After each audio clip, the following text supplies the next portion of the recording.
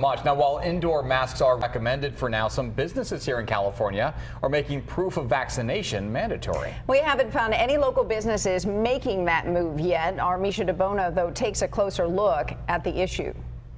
If things continue to trend in the wrong direction, we may see businesses ask patrons to show proof of vaccination or a COVID test in the last couple of days. So far in San Diego and here in Carlsbad, we have not seen that, but everyone that we talked to said they wouldn't mind we might be going a little bit backwards right now. Unfortunately, she's right. COVID 19 cases driven by the Delta variant are surging. You know, this little stretchy piece here, here, here. Forcing businesses like Ooh La La along State Street in Carlsbad to once again make tough decisions. I was vaccinated and had such a bad allergic reaction to it that I'm not able to get that second vaccine.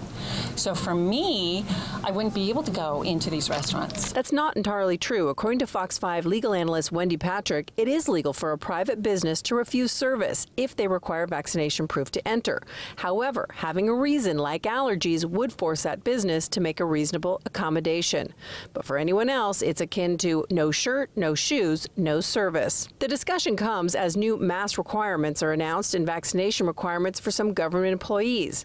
In areas outside of San Diego, like San Francisco, some businesses are taking it a step further, asking customers to show proof of vaccination. I, I'm all for it. I really am because I'm over this, you know, and we're not going to be over it unless we stop it. In Carlsbad Village along State Street, restaurants are full. The weekly farmers market open for business. Guys, you want to try? Inside Ooh La La, their mail order and online business has sustained them. But like everyone else, they'll do what it takes to stay open and keep everyone safe. You have to be respectful of someone who's coming in with a mask on and be like, okay, that's okay. Um, and if the governor comes and says we all need to put those masks back on, then we, we need to do it so that we can get through this. For these shoppers, the idea of being asked to show proof of vaccination is an easy one. I'm okay with that. I, I think it promotes people getting vaccinated. Um, and ones that are on the fence, I think it's going to show them that they're not going to be able to do the things they want to do and go the places they want to go unless they do get vaccinated. So I think it's a great idea.